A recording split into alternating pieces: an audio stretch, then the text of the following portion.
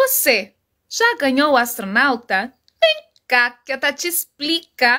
Bom, essa é uma dúvida interessante. Porque o astronauta é o único presente que vale um diamante e tem um lindo efeito especial na nossa live. Ele fica girando, são dois astronautas na Lua.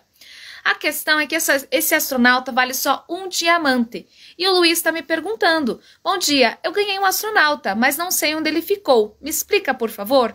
Luiz, querido, a questão é que o astronauta ele vale um diamante só. Então, por exemplo, 30% fica para o streamer, 70% fica para o Quai. Então, somente 0,30 coins vão ficar para você.